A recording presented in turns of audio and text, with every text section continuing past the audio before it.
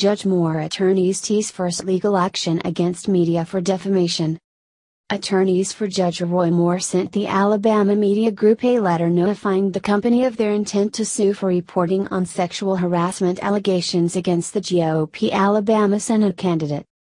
Attorney for Alabama Media Group confirms they received a letter from Roy Moore's attorney notifying them of intent to sue for false reporting related to Moore and the Foundation for Moral Law, tweeted Fox 6 reporter Jonathan Hardison.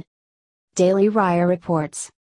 On Tuesday evening, Judge Roy Moore, answering the allegations that have been made accusing him of sexual harassment, initiated his first legal action in response to what he regards as defamation, giving notice of a lawsuit he and his wife Kayla intend to file against the Alabama Media Group.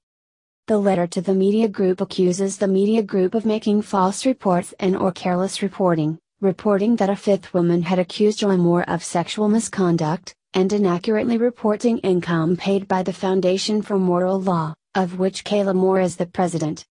The letter also takes issue with the report that Roy Moore signed the yearbook of an accuser, Beverly Young Nelson, and adds that the media group has allowed general slander against Moore and his wife, including that Moore was banned from the Gadsden Mall, was on a watch list for the mall, and had a reputation for predatory behavior. Behavior